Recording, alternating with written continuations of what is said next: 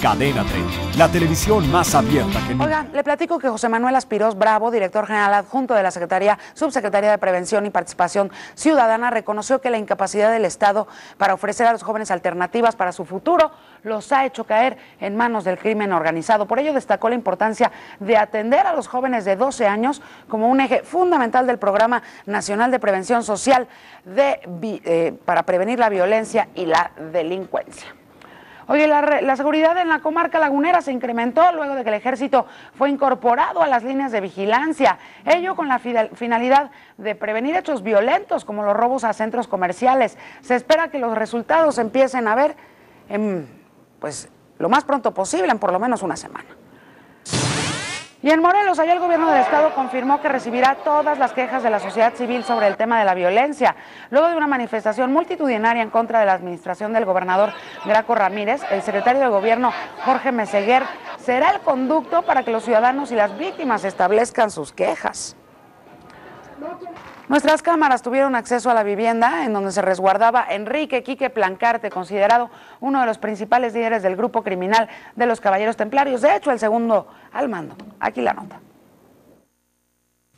En un recorrido por el municipio de Colón, perteneciente al estado de Querétaro, se tuvo acceso a la casa donde se resguardaba Enrique Plancarte, considerado uno de los principales líderes del grupo criminal de los Caballeros Templarios.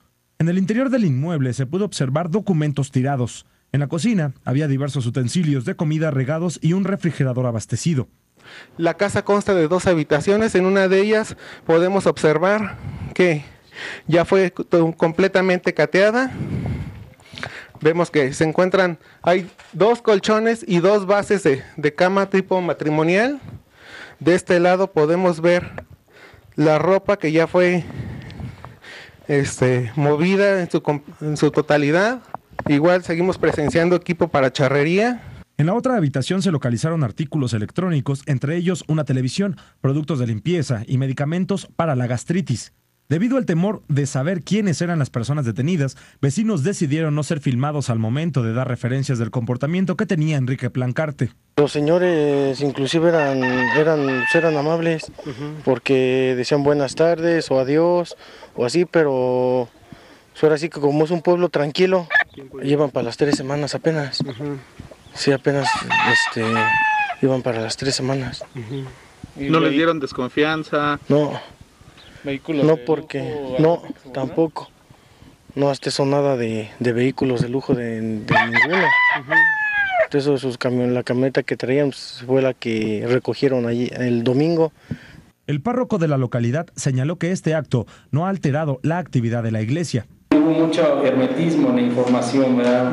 Incluso hasta estábamos pensando que eran demostraciones de, eh, ajá, de los helicópteros que andaban aquí muy cerca y a la gente nadie la va a detener, ni siquiera grupos armados. Con información de Jorge Vázquez. Vete a nuestro canal de YouTube para que siempre estés informado de las últimas noticias de México y el mundo.